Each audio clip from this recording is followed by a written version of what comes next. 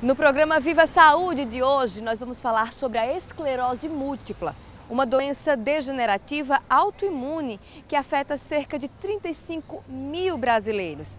Nós vamos conversar com pessoas que têm essa doença e vamos saber também como funciona o trabalho do Centro de Referência aqui na Paraíba.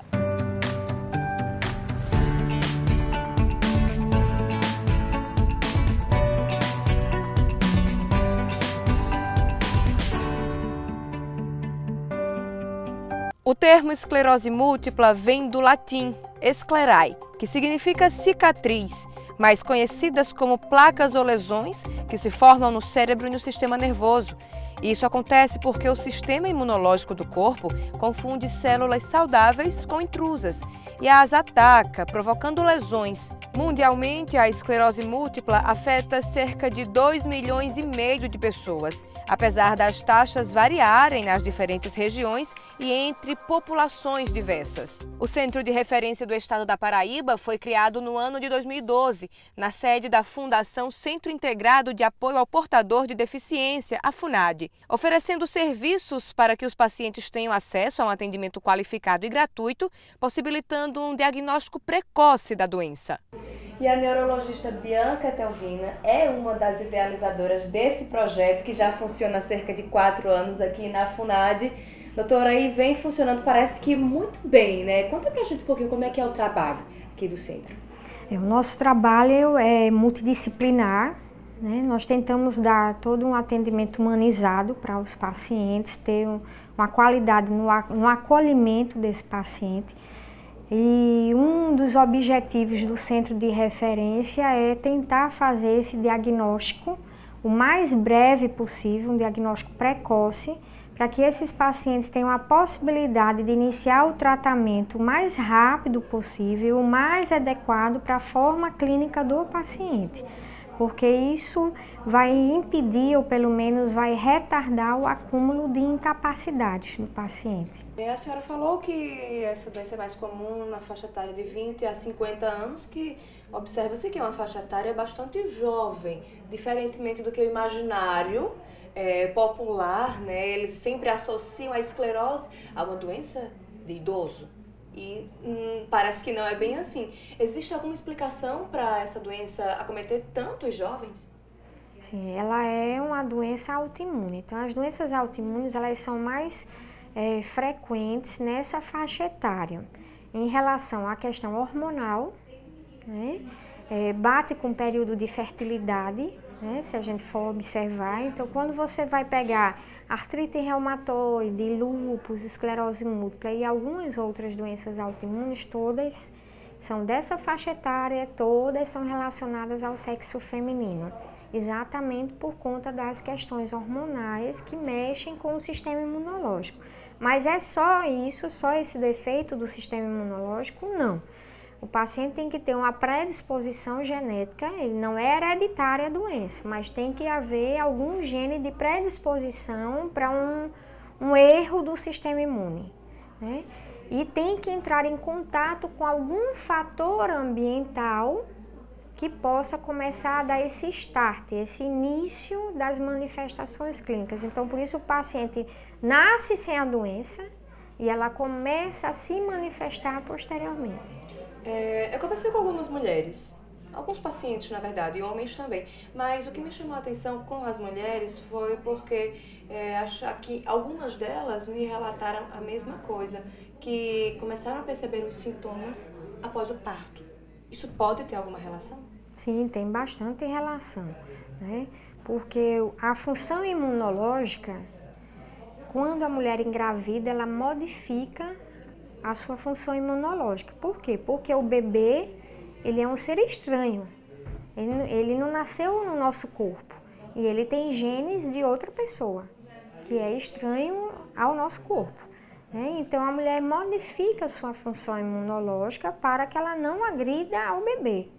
Entendeu? Assim, de forma sim, simplória, mas é mais ou menos isso. Então, quando há o parto, modifica-se de volta o sistema imunológico ao habitual de todas as pessoas. Então, nessa modificação abrupta, súbita, Né? Então você tem uma sobrecarga de ação do sistema imunológico. Então é a partir daí que é muito frequente os surtos, tanto de início do quadro da doença, como as mulheres que têm esclerose múltipla, né, que engravidam, aí tem um risco maior de surtos da doença no puerpério, no pós-parto.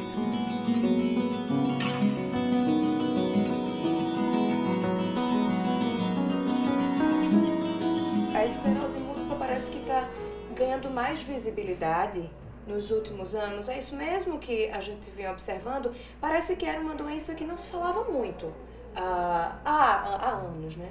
E agora ela vem ganhando um pouco mais de visibilidade. É. O que, que acontece? São duas situações. Uma é que não existia um tratamento específico para a doença. Né? Até 1991 não tinha medicamento específico da doença. De 1991 para cá, os medicamentos começaram a chegar. E de cinco anos para cá, esses medicamentos estão sendo mais elaborados, né, com maior eficácia no tratamento do paciente de esclerose múltipla. Inclusive, está chegando medicação para quadro progressivo que não tinha durante esse período todo. Então, está chegando a medicação para quadro progressivo, que é um, uma outra possibilidade. Então, se você tem um tratamento, esses pacientes, eles vivem mais, né? Eles têm uma melhor qualidade de vida, enquanto antes os pacientes ficavam acamados logo, ficavam na cadeira de roda, ficavam muito dentro de casa, né? Agora não, são pacientes que saem, que trabalham, que dão entrevista, que brincam, que, né? que se casam e que ficam até mais idosos. Né? Então você está aumentando a sobrevida deles e aumentando a qualidade de vida deles. Então eles aparecem mais, circulam mais. O médico acaba tendo que estudar mais, porque são cada vez mais novos medicamentos, novas terapêuticas, né? Então você tem que cada vez mais se especializar. E a outra coisa que veio para também aumentar essa é, todo esse esse boom que está sobre a esclerose múltipla, né, e até aumentando o número de diagnósticos, foi o surgimento da ressonância que não existia. Né? Então a ressonância veio também para modificar a esclerose múltipla. Né? E cada vez que a ressonância avança e, e melhora a qualidade dessa ressonância, modifica os critérios diagnósticos de esclerose múltipla. Então, quando eu comecei a fazer esclerose múltipla em 2003, era um critério diagnóstico, em 2005 já era outro, em 2010 era outro e agora de 2015 para cá já é outro critério diagnóstico, baseado na ressonância. Então, cada vez mais aumenta a possibilidade de você fazer um diagnóstico do paciente cada vez mais precoce.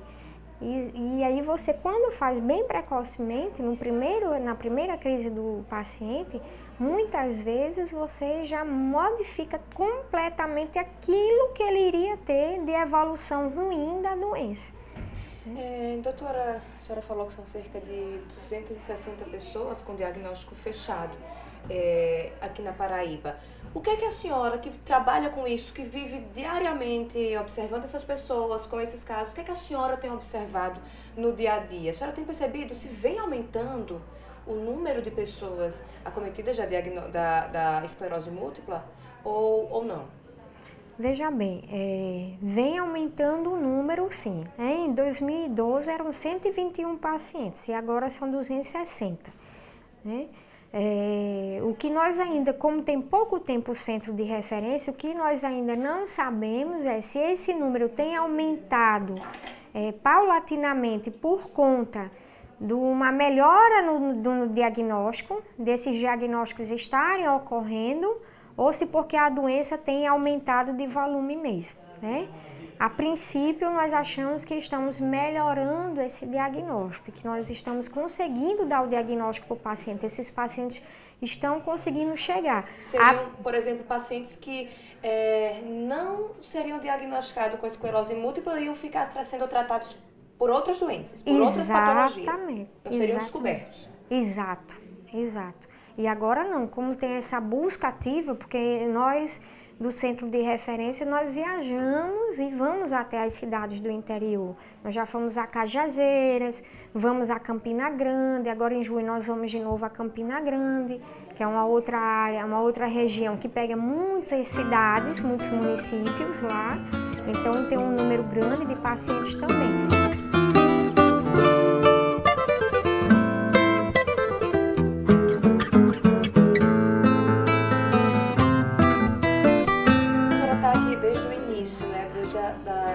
Implantação do, do centro, vem acompanhando toda essa evolução cerca de quatro anos.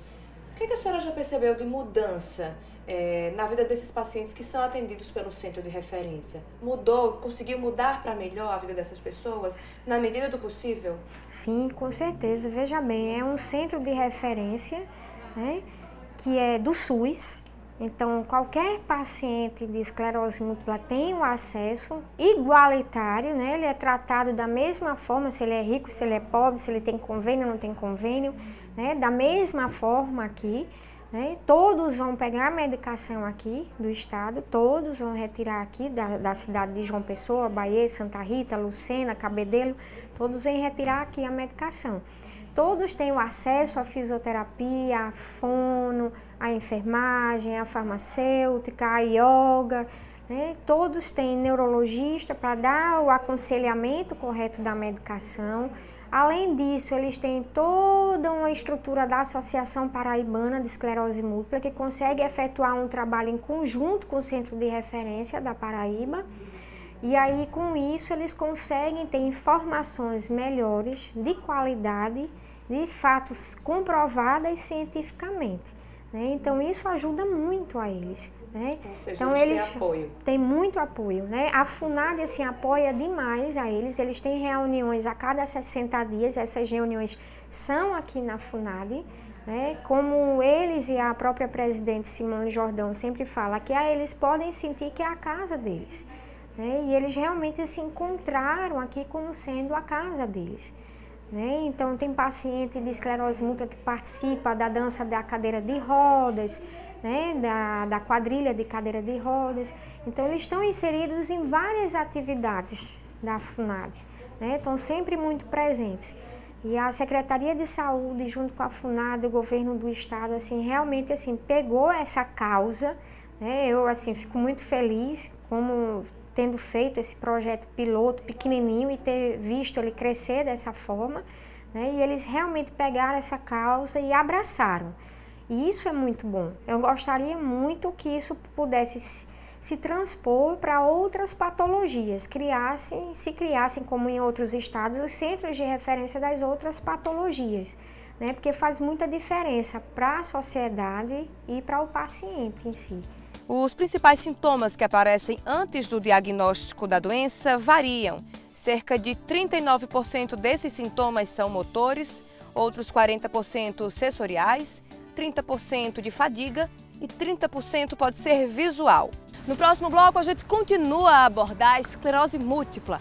Você vai conhecer Juliane Lins, ela que foi diagnosticada com a doença há três anos e vai nos contar como é que convive com a doença no dia a dia.